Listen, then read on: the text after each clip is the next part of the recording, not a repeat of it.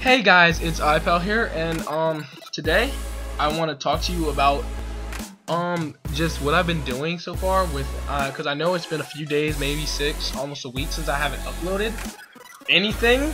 So I know last thing I uploaded, I'm sorry, I'm out of breath. So um, I was I was working on stuff. So um, so I know my last thing I uploaded was um my second live commentary that I've ever done on this channel.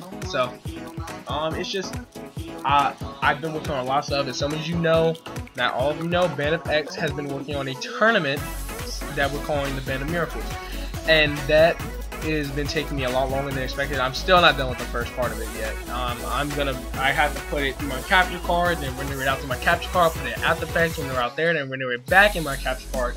A lot of stuff. So I've just been working on that, and then as some of, not all of you know, um, we're working, me and my um friends, God Otaku, and Beasmith0906, and Frostfang, if some of you know him, we are all working on a channel known as Based Gaming TV. Now, so far, Beasmith is the only one to actually put in real effort. So, me and God Otaku and um, Frostfang, he's going to be working on the channel a little bit too. Um, we are all going to be working on that channel.